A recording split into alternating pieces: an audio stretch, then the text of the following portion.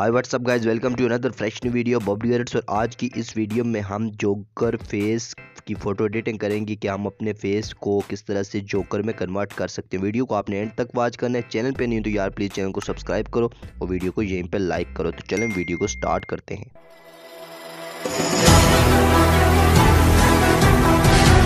Guys तो first step में आपने अपनी एक फ़ोटो सेलेक्ट कर लेनी है। ठीक है, मैंने आप फ़ोटो सेलेक्ट करी। उसके बाद इफ़ेक्ट पे गया इफ़ेक्ट पे जाके ब्लैक एंड वाइट इफ़ेक्ट पे हमने जाना है और पहले वाला जो ब्लैक एंड वाइट इफ़ेक्ट है, उसको सेलेक्ट करके वो जी पे उसको रख देना है, ठीक है ना? उसके मोड को हमने जी सेलेक्ट करना है, ठीक है? जी ठीक रहेगा मेरे हिसाब से। उसके बाद आपने उसको डन कर देना है इधर से। उसके बाद हमने जो नेक्स्ट काम करना है, वो करना है किसके अंदर? इधर एक ऑप्शन आपको मिलेगा स्मूथ वाला या फेस वाला या ब्यूटीफाई वाला ऑप्शन आपके पे। पिक्स आर्ट में इस तरह से ओपन होगा। उसके बाद आपने उसके हेयर कलर पे जाना है और यहाँ से ये वाला हेयर कलर जो ग्रीन कलर वाला, ये आपने सेलेक्ट कर लेना है, ठीक है? इसके अमाउंट को आप कम या ज़्यादा कर सकते हो अपने फ़ोटो के हिसाब से।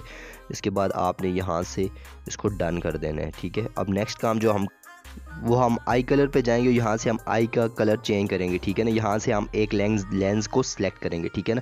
आपने क्या काम करना है? थोड़ा आगे स्क्रॉल करते जाना है यहाँ से ये वाला लेंस सेलेक्ट करना है। लेंस सेलेक्ट करने के बाद इसकी ह्यू को आपने कम या ज़्यादा करना है, ठीक है? लेकिन उससे पहले आप में जो फालतू एरिया जो आइज़ का दूसरा लेंस है, उसको मैं अरेज कर देता हूँ। ठीक हो गया? ह्यू पे जाके आपने इसकी ह्यू को कम या ज़्यादा करना है। सेचुरेशन को आपने थोड़ा सा बढ़ा देना है। अपने हिसाब से आप जिस तरह से आपको आपकी आइज़ अच्छी लग रही हूँ टाँके जोकर की तरह की हमारी आइज़ बन जाएँ, वही वाला कलर हम सेलेक्ट करेंगे। उसके बाद अरेज पे जाकर जो फालतू एरिया है लेंस का वो हम अरेज कर देंगे। उसके बाद हमने इसको डन कर दिया। यहाँ से ये हमारा काम यहाँ तक कंप्लीट हो चुका है। ये इंपॉर्टेंट स्टेप था। ये आप ने सबसे पहले करना होता है। उसके बाद ऐड फ़ोटो वाले टूल पे जाएँगे और यहाँ से हम ये वाली फ़ोटो सेलेक्ट कर लेंगे। फ़ोटो का लिंक आपको मैं डिस्क्रिप्शन में दूँगा। उसके बाद क्रॉप पे जाके आपने क्या काम करना है? इस आई का जो एक साइड का जो आँखों वाला हिस्सा है, वो हम क्रॉप कर लेते हैं, ठीक है? उसके बाद बैंड पे जाके हमने इसको डार्कन करना है। डार्कन करेंगे तो ये ऑटोमेटिकली इस जगह से पेंट हो जाएगा। फिर उसके बाद अरेज पे जाके फालतू एरिया हम इसको अरेज कर लेंगे, ठीक है?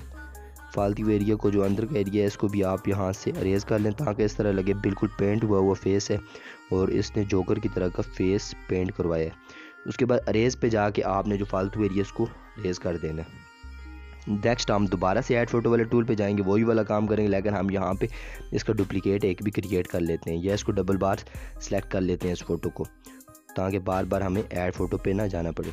उसके बाद आपने क्या काम करना है? जो नोज़ वाला एरिया उसको आपने क्रॉप किया बैंड पे जाके वही वाला काम करना है, आपने इसको डार्कन करना है। डार्कन करने के साथ ही आपने इसको अच्छे तरीके से अपनी नोज़ पे एडजस्ट करना है।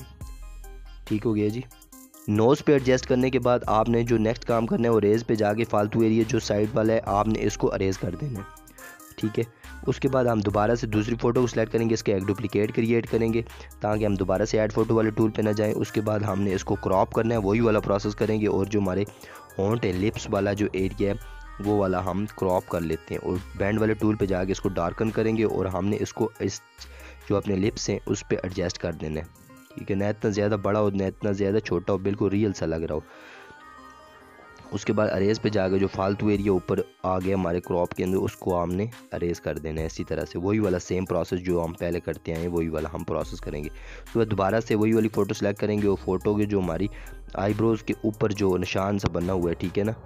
उस निशान को हम सेलेक्ट करेंगे क्रॉप करेंगे बैंड वाले टूल पे जाके उसको डार्कन करेंगे, उसको, उसके ऊपर एडजस्ट करेंगे, उसको हम टैप करके अरेज पे जाएँगे, उसके जो एजेस बने हुए हैं, उसको हम अरेज कर देंगे इस तरह से। और यहाँ से हमने जो हमारी फ़ोटो है वो तकरीबन कंप्लीट हो चुकी है। इसके बाद हम, मैं आपको एक और नेक्स्ट काम बताता हूँ। आपने यहाँ पे एक अफेक्ट भी अप्लाई करना है, ठीक है? इफेक्ट्स पे जाके एफ़ एक्स पे जाके आपने H D R effect apply करना है। एच डी आर इफ़ेक्ट को अप्लाई करने का ये तरीका है कि उसकी शार्पनेस को आपने अनशार्प जो है उसको कम कर देना है।